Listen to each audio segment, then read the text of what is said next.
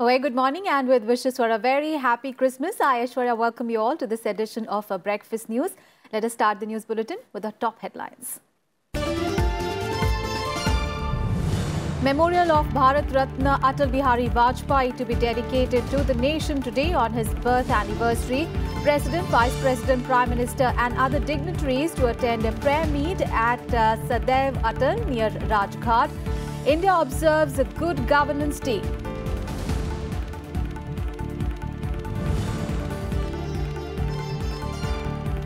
Lifeline of the Northeast. Uh, Bogibeel Bridge to be inaugurated by Prime Minister Modi in Assam today. India's longest rail cum road bridge to increase connectivity and security.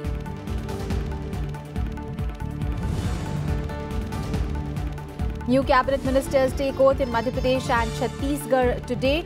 Madhya Pradesh Chief Minister Kamal Nath camped in Delhi to finalize list 10 new faces likely to be inducted into Bhupesh Baghel government in Chhattisgarh.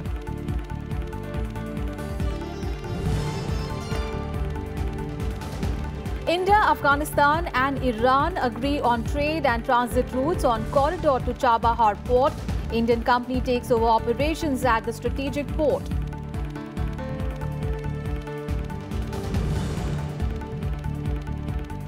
And it is Christmas joy the world over. Prayers for peace, prosperity and happiness.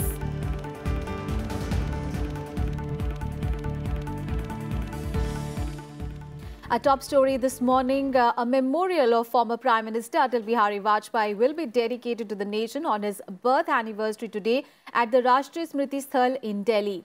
President Ramnath Kovind, Vice President M. Venkaiah Naidu, Prime Minister Narendra Modi and other eminent personalities will attend a prayer meeting at the memorial near Rajghat. The Atal Smriti Nyas Society has developed the memorial Sadaiv Atal. The memorial is spread over 1.5 acres of land where Vajpayee was cremated. The memorial reflects uh, the later Prime Minister's personality as a poet, humanist, statesman and a great leader. The central Samadhi platform comprises of nine square black polished uh, granite solid uh, stone blocks capped with a diya in the center. The placement of the nine square samadhi is a circular lotus-shaped pattern. It is enclosed by nine walls uh, which have inscriptions of the poetry of Vajpayee. And stones from uh, various parts of the country emphasizing unity in diversity have been used in the construction of the Samadhi. It was completed at a cost of uh, 10.51 crore rupees. Vajpayee's birth anniversary is also being marked as Good Governance Day today. And our colleague uh, Ravindra Singh Shuran is now joining us live from Rajghat. A very good morning, uh, Ravindra. While the nation is also celebrating Good Governance Day, a memorial of uh, former Prime Minister Atal Bihari Vajpayee is going to be dedicated to the nation today. What more can you tell us?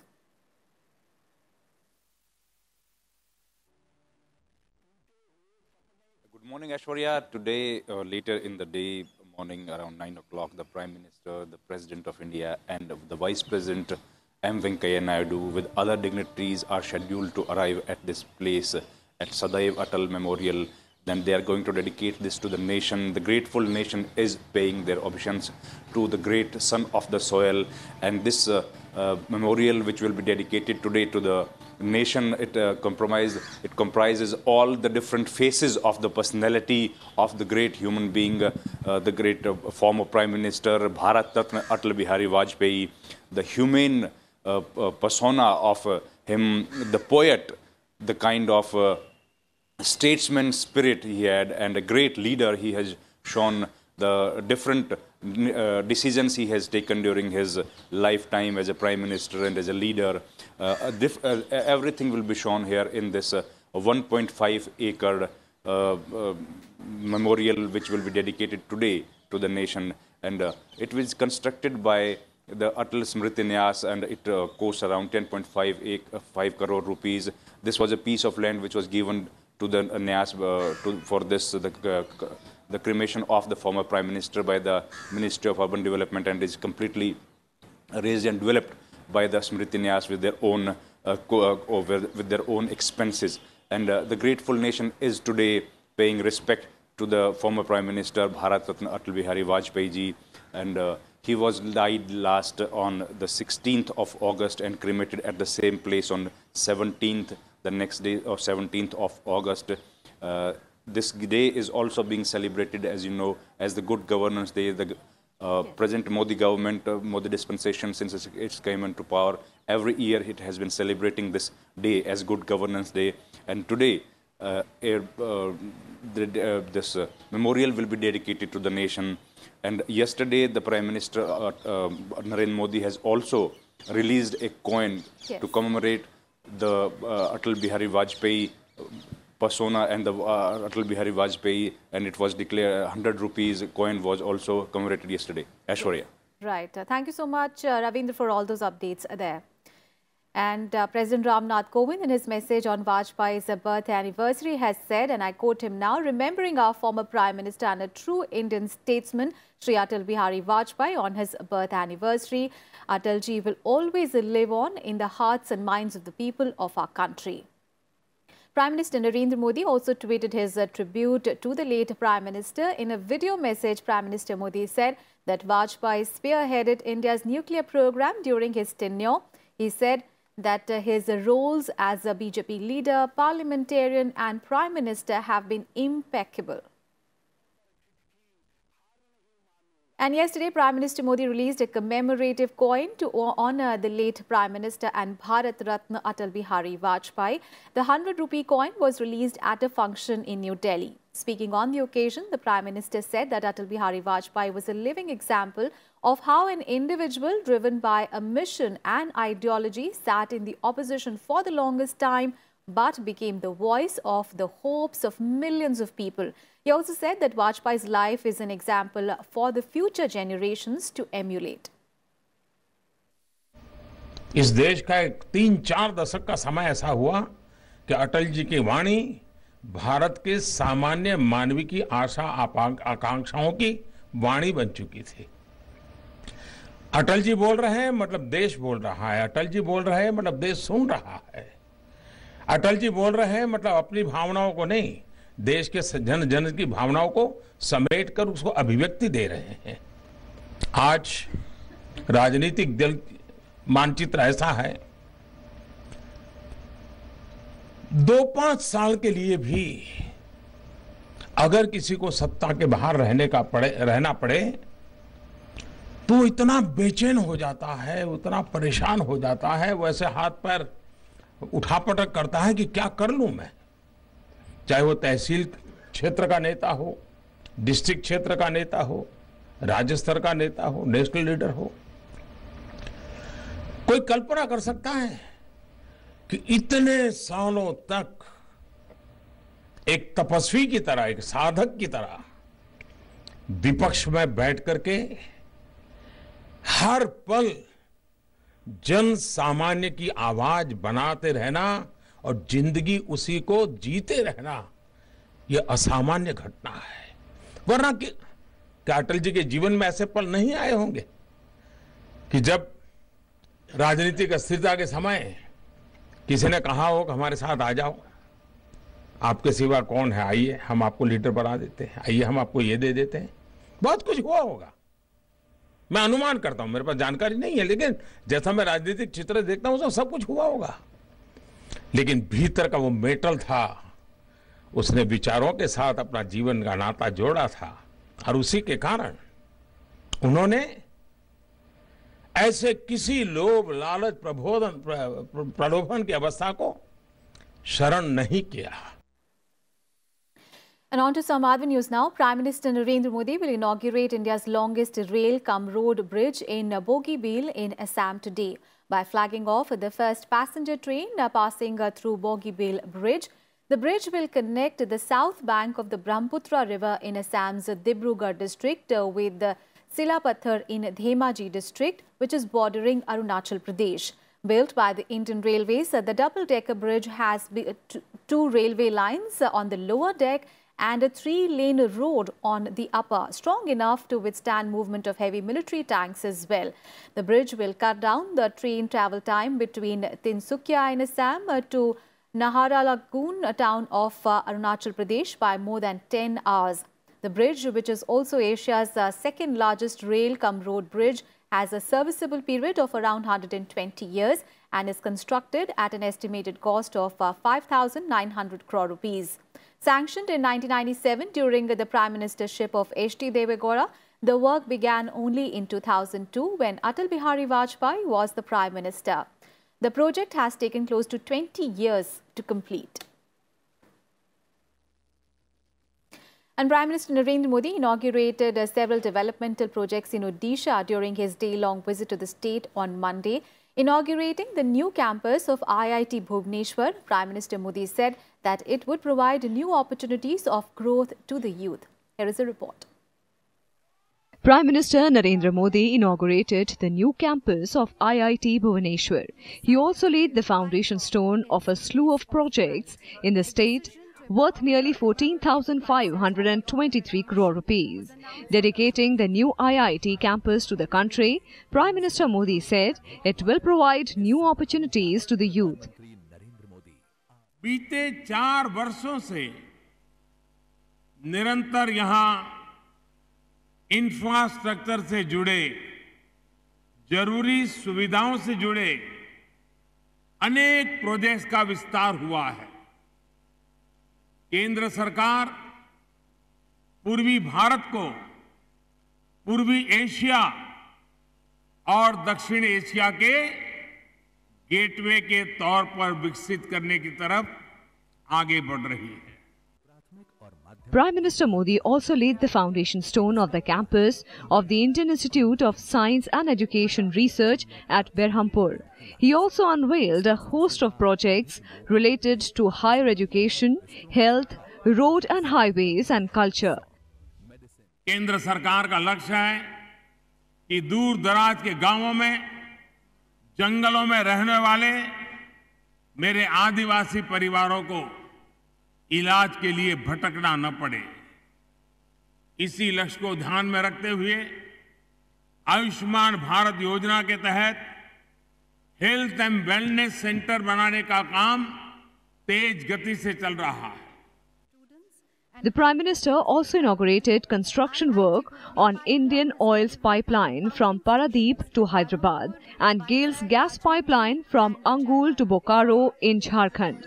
He said these projects will transform Odisha into the petro hub of East India and go a long way in providing people with clean and green energy.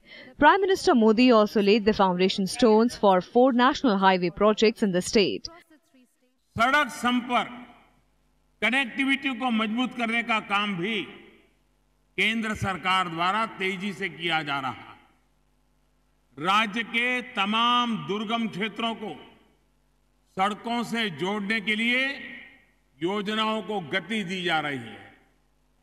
LPG cylinder पहुँचाने में तो हम सफलता के बहुत करीब ही है।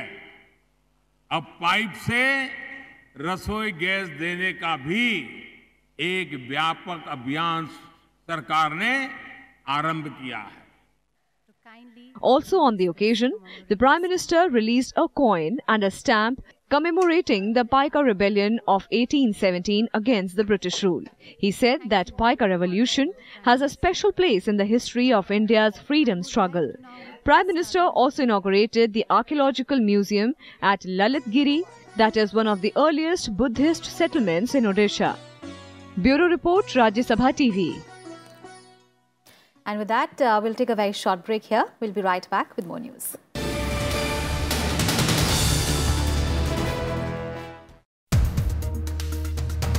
just now mentioned about uh, the Rafale deal and with the Supreme Court having given a clean chit uh, to the government, uh, do you think it's a big shot in the arm of the party as well as the government? I see it as a vindication of the country's need for security.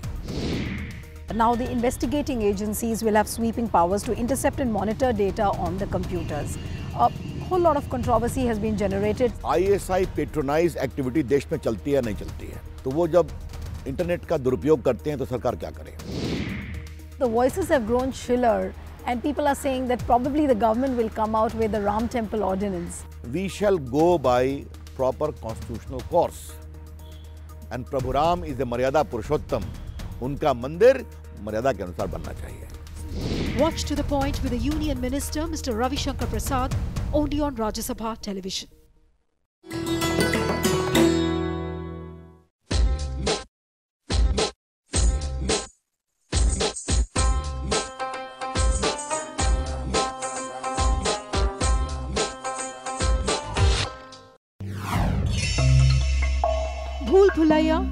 Labyrinth of hundreds of narrow stairway passages, is a significant and historical component of what you popularly know as Bara Imambara. Some of these narrow stairways have dead ends, some end at precipitous drops, while others lead to entrance or exit points. Historically, Bhul Bhulaiya was constructed to confuse the enemy intruder, and the narrow lanes of the labyrinth can make anyone feel lost. The structure contains various strategically built hollows in the corridors.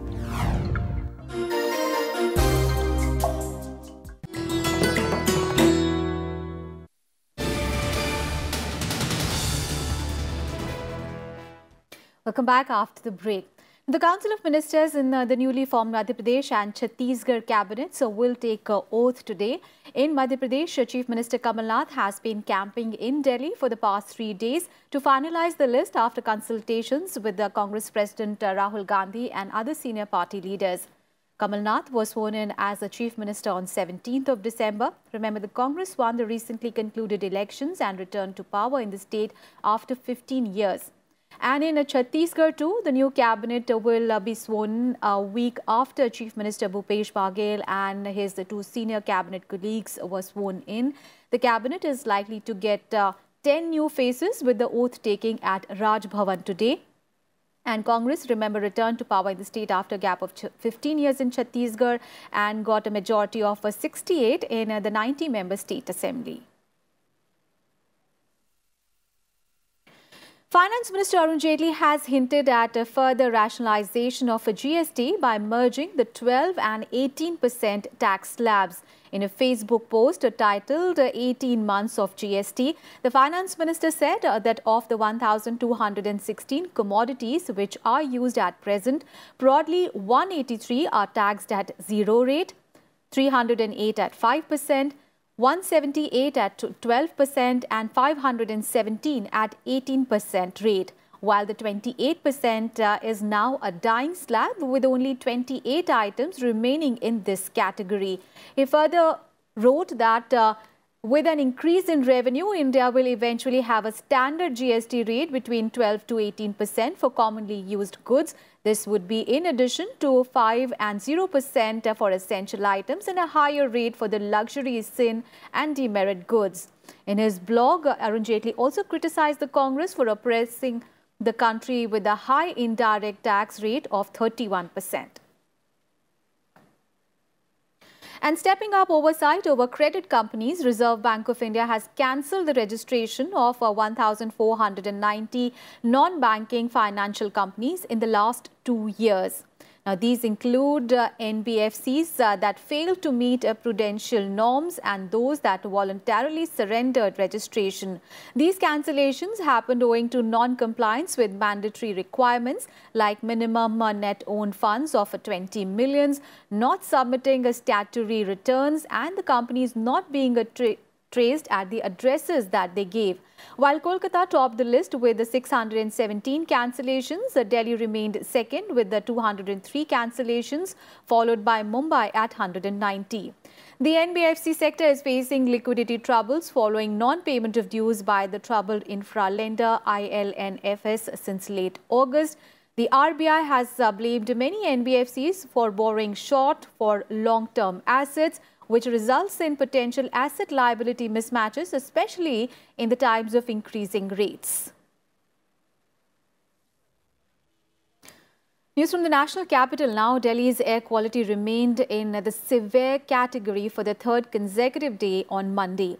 Now, this has uh, prompted authorities to impose a three-day ban on industrial activities in pollution hotspots and the construction work across Delhi NCR. The city is facing its highest pollution level since Diwali. The Delhi Pollution Control Committee said that the ban came into force uh, from Monday itself and it is sending letters to the industries and construction authorities to immediately halt these activities. The EPCA directed the traffic police also to deploy several teams and to ensure congestion-free traffic flow, particularly in identified high traffic corridors. The agency's uh, concerns have, have also been asked to ensure strict action against illegal industries intensify ground action and make all efforts to control polluting activities, particularly waste burning.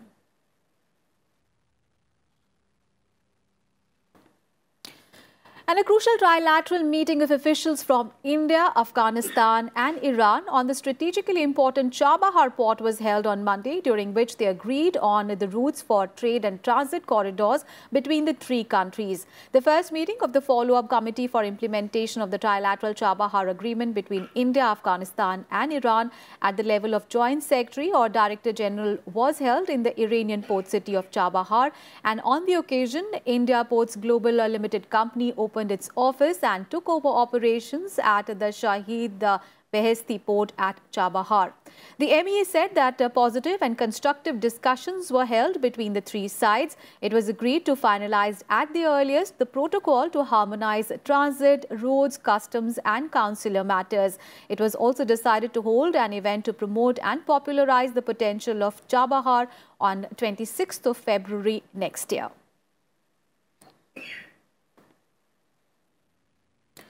Let's get you all the international news now. First up, news from Afghanistan, where a suicide bomber blew up a car packed with explosives outside Afghanistan's Ministry of Public Works on Monday, with gunfire then breaking out. At least 28 people have died and at least 20 others were injured. Several gunmen had taken up positions in a nearby government building after the blast and were exchanging gunfire with the security forces. Hundreds of employees were trapped inside the building at the time and some reportedly jumped to safety. More than 350 people were eventually freed from the Public Works office. Three attackers were also shot dead. It was not immediately clear who carried out the attack. Uh, both the Islamic State group and the Taliban have carried similar attacks in the past. News from Pakistan now, where an anti-corruption court on Monday sentenced former Pakistani Prime Minister Nawaz Sharif to seven years in prison in a case uh, centered on his ownership of a steel mill. The anti-corruption uh, court found that uh, Nawaz Sharif could not prove his source of income for the ownership of a steel mill in Saudi Arabia. He was arrested following the verdict. However, the court acquitted him in a second case, a flagship investment in the UK, for lack of evidence. And following the verdict of the National Accountability Court, Sharif's supporters clashed with the police in the Pakistani capital Islamabad and burned tires on a main road. Security forces used tear gas and batons to quell the protesters. Remember, Sharif, who denies wrongdoing, was jailed in July in a different corruption case, but uh, bailed on appeal when the Islamabad High Court uh, Islamabad High Court suspended his 10-year sentence in September. Remember, his party had lost the general elections in July when he was in jail. News from Indonesia now, where the death toll following the tsunami caused uh, by the Krakatau volcano has now risen to at least 373. Saturday saw giant waves uh, crashing into coastal towns on the islands of Sumatra and Java. It is thought that the volcanic activity set off undersea landslides, which in turn generated the killer waves. The Krakatau erupted again on Sunday, spewing ash and smoke close uh, to 1,500 people are injured, 128 still remain missing. The coastal residents near the volcano have been warned to keep away from beaches amid the fears that it could trigger a new tsunami as well. Meanwhile, uh, rescuers are using heavy machinery and their bare hands uh, searching through debris, pulling out uh, bodies in the worst affected areas on the west coast of Java Island, where uh, hundreds of soldiers and volunteers are looking for victims along a 100 kilometer stretch of shore. On the sports news now, the All India Senior Selection Committee has announced India's squad for the T20 series against New Zealand. The selection committee has brought uh, Mahendra Singh Dhoni back into the squad so that it gets enough game time before the ODI World Cup. But committee dropped Rishabh Pant from the 50-over side for the upcoming series against Australia and New Zealand. The 15-member squad for the twin ODI series against Australia and New Zealand starting 12th uh, of uh, January and 23rd of January respectively. Most expectedly, the core team for the World Cup in England that starts 30th of May. And finally, well, Christmas is being uh, celebrated across India and the world. And with wishes uh, for a Merry Christmas from the entire Rajya Sabha television team, we leave you with some of the visuals of this uh, Christmas cheer. Thanks so much for watching.